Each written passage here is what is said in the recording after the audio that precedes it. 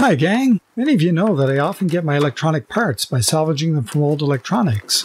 Microwave ovens being a favorite. To do that, I have to remove parts from the board, desoldering them. In this video I'll show you how to desolder parts from the circuit boards using a desoldering pump, or solder sucker. This also helps if you need to fix a mistake during soldering. The tool I use for desoldering is this. It's sometimes called a solder sucker, or a desoldering pump.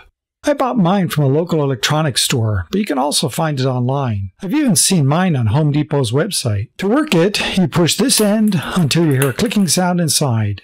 Then you press this button to suck solder into this end. What's going on inside? Pushing the piston expands a spring until it locks in place. Pushing the button causes the spring to rapidly shrink back to its unexpanded size, pulling the piston back. There's also an empty chamber here with a small hole at one end. The head of the piston has a seal around it, so that no air can escape around the edge of the head. When the spring pulls the piston back, that backward moving head causes a low pressure area, pulling air and any liquid solder in through the hole. Here's how to use a desoldering pump to remove a part. In this case, a capacitor. First, push in the piston until it locks. Then heat the soldered connection, and when the solder is liquid enough, put the hole for the pump in place and push the button. Some of the solder gets sucked into the pump.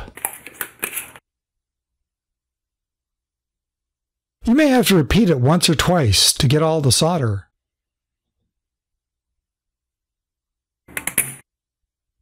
To remove the solder from the pump, simply push the piston back in.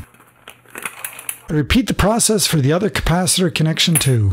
When it looks like all the connection points are clean, remove the part. Well, thanks for watching. See my YouTube channel for more videos with tips for making stuff. If you like these videos, don't forget to subscribe, give a thumbs up, share with your social media, or leave a question or comment below. Keep on watching.